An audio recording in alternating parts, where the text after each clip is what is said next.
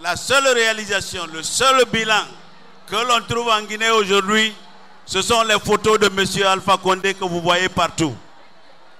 Ce régime a échoué sur toute la ligne.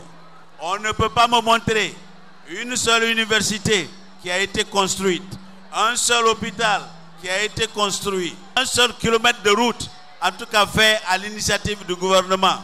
On me parle de la route de Beila, enlevez ça du bilan parce que c'est Rio Tinto qui a fait ce travail. Le seul bilan qu'on peut citer, c'est simplement les travaux qui ont été faits quand M. Selou Dalen Diallo était aux travaux publics. Le seul domaine en fait dans lequel M. Alpha Condé a réussi, c'est de pouvoir diviser les Guinéens. Regardez ce qui se passe ici à Zérékoré. Avant, nos parents vivaient ensemble. Il n'y avait jamais eu de problème. C'est quand M. Alpha Condé est venu qu'il a essayé effectivement et il a réussi à diviser les Guinéens. Alpha n'a pas de programme de développement pour la Guinée. Et le seul conseil et la doléance que je veux présenter au peuple de Guinée, c'est de ne jamais, plus jamais confier ce pays à quelqu'un qui n'a jamais géré même un poulailler. Si vous le faites, si vous le faites, vous êtes en train de compromettre non seulement votre avenir, mais l'avenir de vos enfants, l'avenir de, vos petits-enfants. C'est la raison pour laquelle nous disons que pour redresser ce pays, il faut des cadres de valeur. Et je vais vous dire que M. Selou Dalen Diallo est un cadre connaisseur de dossiers. Mes chers frères et sœurs de Zérekouré, vous avez besoin de changement. Je le sais. Vous avez subi beaucoup de violence. Je sais que vous souffrez. Le réseau routier pour aller à Conakry, vous faites combien de temps? Deux jours, parfois trois jours. Il n'y a pas de route. Les jeunes de Zérekoré, est-ce que vous avez des emplois? Qu'est-ce qui a été fait à Zérekoré ce, ce que Alpha a pu faire, c'est de bloquer les projets qui étaient commencés.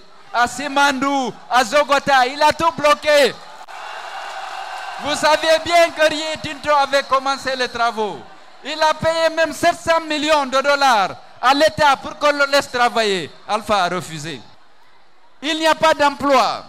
Vous avez beaucoup parmi vous d'enseignants contractuels avec une situation précaire, avec un salaire insuffisant, avec sans perspective, puisque vous n'avez pas de contrat à durée indéterminée avec l'État. Cette situation précaire, alors on l'utilise pour vous demander de voter, on va vous changer votre situation. Il y a eu trop de violence dans notre pays.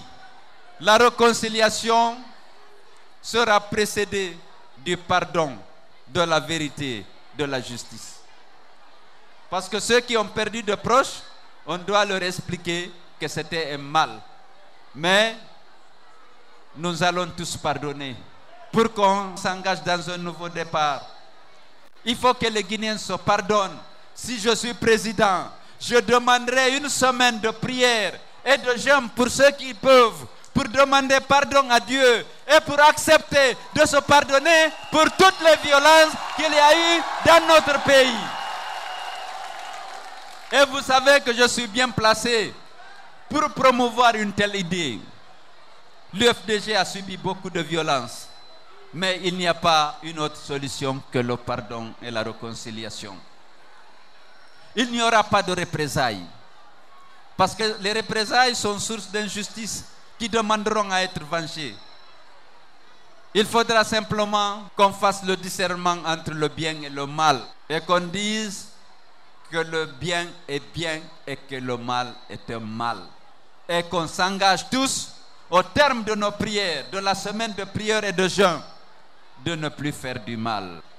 C'est lorsque les autorités politiques sont tordues qu'ils instrumentalisent les forces de défense et de sécurité pour essayer pour atteindre leurs objectifs politiciens.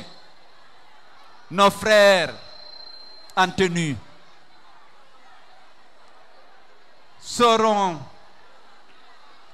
formés, équipés davantage, payés davantage pour faire leur mission, leur rôle, uniquement leur rôle, celui de protéger les Guinéens et ne jamais tuer un Guinéen. Le premier droit de l'homme, c'est le droit à la vie. Et lorsqu'il y a une bavure policière, à partir de ce pardon, des enquêtes seront menées.